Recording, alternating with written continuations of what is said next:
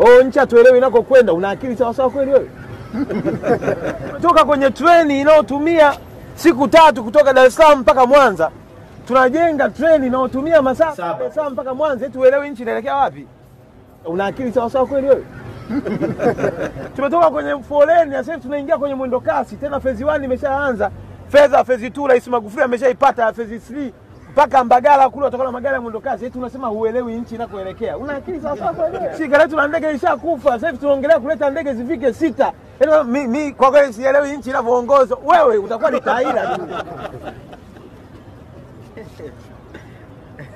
Wanafunzi wanajengewa mabweni kule, wanalala tena kwa bei ya shilingi mia tano kwa siku wakati wako wanahangaika kupanga, wanalipa zaidi ya laki mbili na nusu kwa mwezi. Sasa watalipa haifiki hata shilingi elfu arobaini bado nasema eti nchi uelewi. Tunatoka kwenye kipindi cha wanafunzi kulipa ada. Sasa